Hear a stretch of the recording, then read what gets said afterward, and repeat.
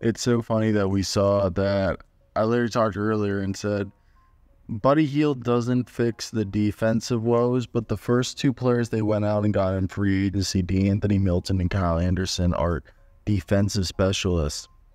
Buddy Hield, you know, is an Iron Man. He never misses games. Yeah, some people are going to say, well, he went to the Sixers and tried to be like, have a bigger role and it flopped. But he showed he can be a little bit of a playmaker. He can score off the dribble. He's one of the best three point shooters.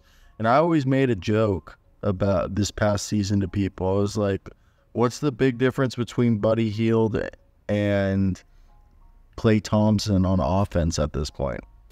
Buddy Hield, you know, natural born shooter, one of the most reliable three point shooters in the league. They're getting him in a sign and trade.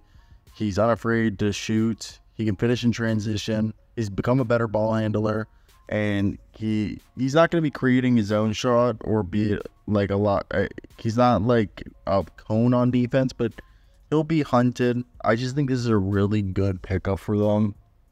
It, he's just perfect.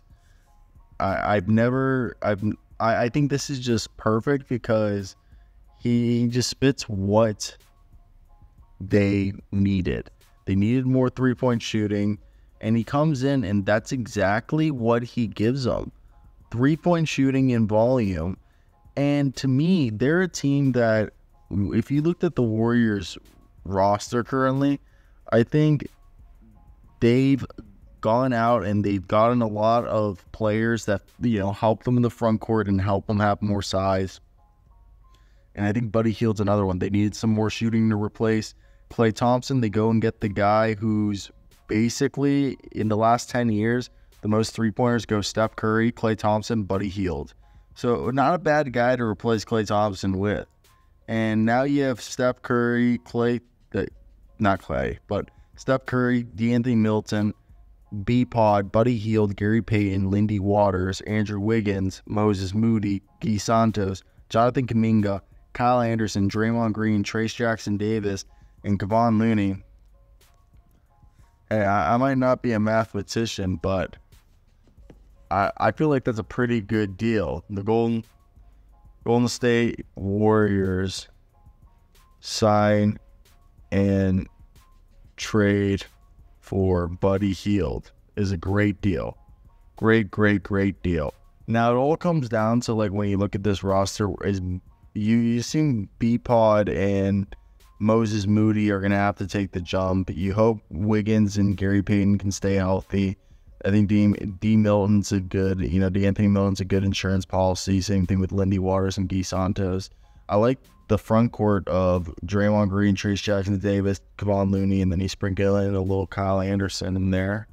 But besides that, what do you guys think? I, I, I think it's definitely interesting to see how, you know, this team has gone out. I think they've done a good job of adding veterans. They're they have a good mix of young guys that they can they know that they can rely upon. And I don't know. What do you what do you guys think? Is this just me being a little excited or over too excited? Because I think this is a good team. And and I don't know. I just feel like some people are going to be like, oh, he's going to be a 20 point per game scorer. I think he's just going to give him 12 points a night, provide some three point shooting. I just don't want to act like he's this great signing that's going to be a game changer. Like, was it a good signing? Yes, it was a good signing.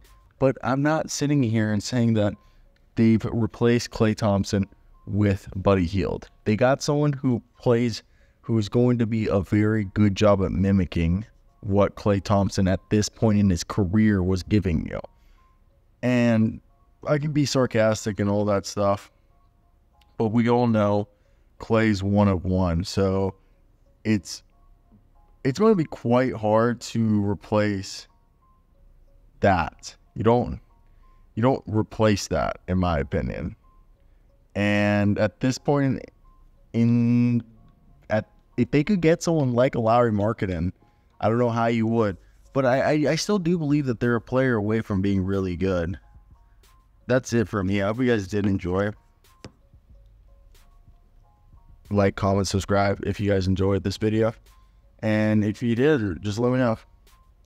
I don't know. That's it. I'm out. You out.